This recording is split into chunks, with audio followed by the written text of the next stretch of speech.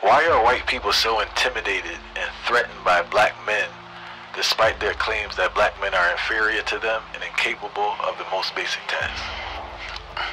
Well, there's an easy answer to that question. That no black men are inferior. I mean, are superior to them.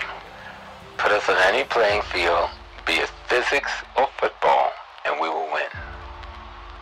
Give us the same opportunities, and we will win. Because we come from a history of not trying to destroy and dominate the world, and you come from a history of trying to destroy and dominate the world.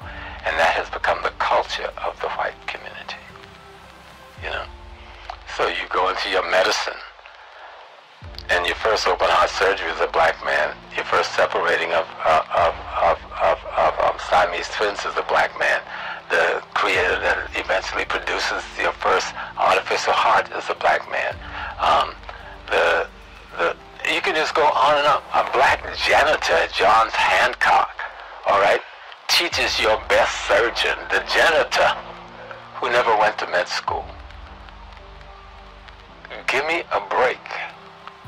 You got a TV set because of a black man. You got a cell phone because of a black man. You got a touchstone because of a black woman. You got the video game because of a black man.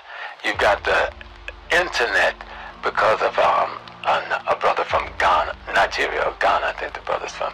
You got the the the um, what's the, what's, when we send messages on um, the computer.